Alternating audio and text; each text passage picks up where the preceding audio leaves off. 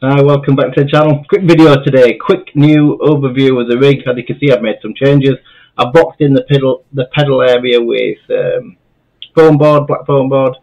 As you can see the tape's the hardest bit getting. You just have to keep going over it for the next few days. The fan built in the side up to help push air in both sides to drive my fans from a dash.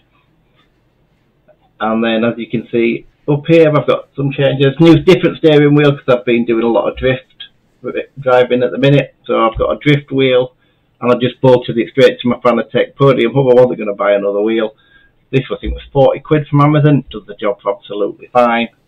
It's a good size, 350mm deep dished and I changed gear with a sequential anyway. Changed my keyboards to a SteelSeries keyboard. This is a mini keyboard. The other one was just far too big. Um, the Razer keyboard. What else have I done? So as you can see, because it's all boxed in now, there's LED lights up above. Uh, they're on green at the minute, but you can change them. There's quite a lot of lights up there, and it lights up the pedal area. Looks really good on the night when it's dark.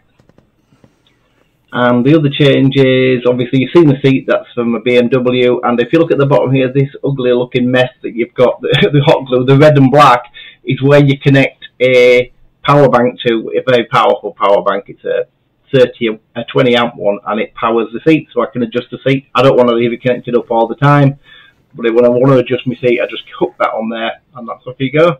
And that's basically it. That's a new look of the rig. I hope you like it. It's not had that much changes. Few things have moved around. I like the look of it. I prefer it like it is.